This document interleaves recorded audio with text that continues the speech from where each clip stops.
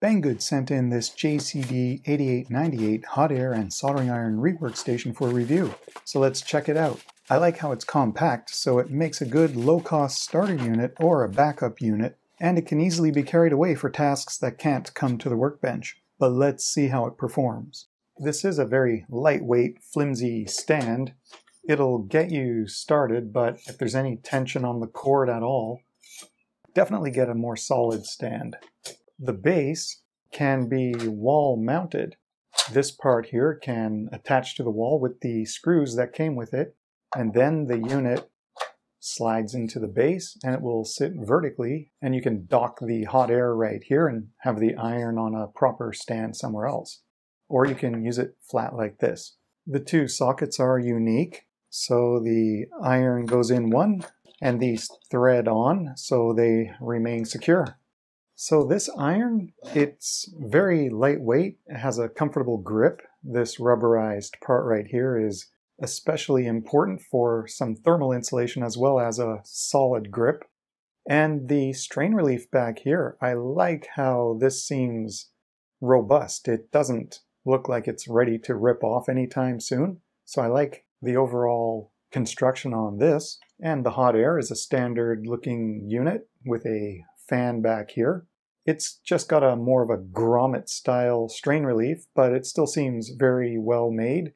The three tips that come with this just slide over the top. There's a little indent right there and a matching mark on the tip. So you can just rotate that and eventually it'll slide right into place. We can see here there's a magnet on the side of this stand right here. That works with a switch here so that when this is docked, it will start turning the temperature down and it will keep blowing to purge the hot air out until it's safe enough for it to turn the fan off. And when you are ready to use it again, you can pull it back out and it will start going back up to the set temperature. So that way you don't have to keep turning the power on and off on the side.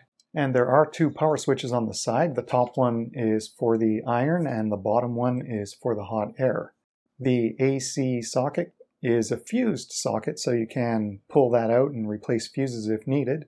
While we're here, let's check the grounding from that terminal. So that hot air tip is grounded. The iron tip is grounded, but these exposed metal connectors here are not grounded. So just something to be aware of. It would be nice if these were grounded. The iron uses commonly available 900M style tips, and it comes with one conical general purpose size tip. So if you use this iron with another one you have, what you can also do is use this as surface mount tweezers to get small resistors, capacitors, and things like that with two pins. If you don't want to use hot air for some reason, if there's maybe something fragile nearby that you can't overheat, you can just get in there that way. So it's good to have multiple irons. I'm going to take a spare header on this board and try out the iron and see how it goes. Definitely up to temperature now. Nice new tip. So if I just give this a try, yeah, that's just going perfectly smoothly. And I'm going to turn this off since I don't trust this stand. That went well and was perfectly comfortable like any other iron I've ever used. So I learned if you hold down both buttons here and then power on the iron, you can change between degrees Celsius and Fahrenheit. By chance, if it turns out the temperature isn't really correct, we can hold both buttons while it's on and we can do an offset here so I could change what the display would show. But I don't have a way to measure the tip accurately, so I'm just going to leave it at whatever it's set for. In the meantime, if I turn on the hot air, if I set this, it starts at, it looks like 100 degrees. So I'm just going to bring this up, let's say 400. There's a fan button, so right now it's at 10, which is the highest. And looks like it goes between 5 and 10, so it's on a minimum amount. While it's in the stand, a magnet keeps it switched off, so as I set for 400, with a fan on full. When we lift it, it should kick in. And there it goes.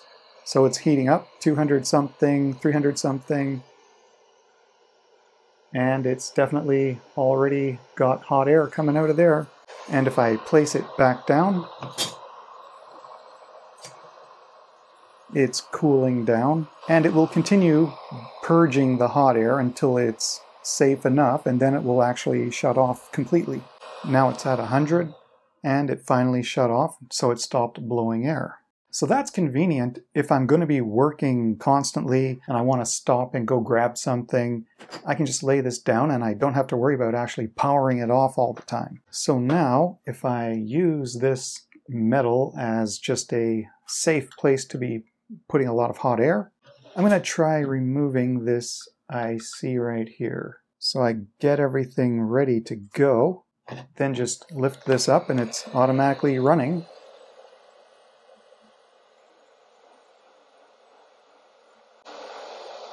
And there we go. Works just fine. So I lay this back on the base. It starts cooling down and it'll take care of itself. So this is definitely a nice little unit for the cost, especially this form factor and how I can choose to mount it up on the wall or something out of the way. I just really need to get rid of that stand. So I definitely like this unit. And if nothing else, it's good to have a backup for hot air and a soldering iron. Thanks to Banggood for sending this to review.